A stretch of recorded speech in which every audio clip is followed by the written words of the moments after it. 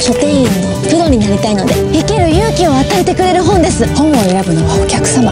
本を愛してるでしょ。工夫すればいいじゃないですか。だけじゃない怖いもの知らずなんじゃね？お嬢様だから。納得いけへんわね。生意気。ずっと感謝してました。三田さんのことなら何でも。嘘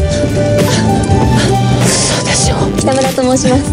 大きな間違いだと思う。出さなきゃよかったじゃないですか。聞いてないし。1分だけ私に時間をください。戦う書店がある4月14日スタート。このイベントやりたかったんでしょ？